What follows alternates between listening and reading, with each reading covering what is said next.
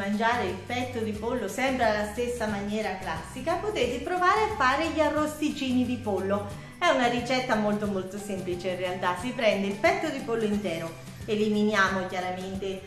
l'ossicina, la parte grassa, lo puliamo e lo tagliamo tutto a tocchetti, lo mettiamo in una bolla e lo facciamo marinare qui libero spazio alla fantasia come dico sempre quindi sale, pepe naturalmente paprika affumicata, un pochino di senape ci possiamo mettere anche un pizzichino di curry, olio extravergine d'oliva naturalmente, un goccino di aceto, quello che vi piace, finisce tutto a marinare il vostro bel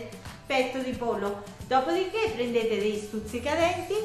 per gli spiadini che vanno, non so se lo sapete, ma vanno immersi prima in acqua. Li tenete in una ciotola, in un piatto con l'acqua in modo che si inzuppino e quindi resistano durante la cottura. Infilzate tutti i vostri bei cubetti di petto di pollo,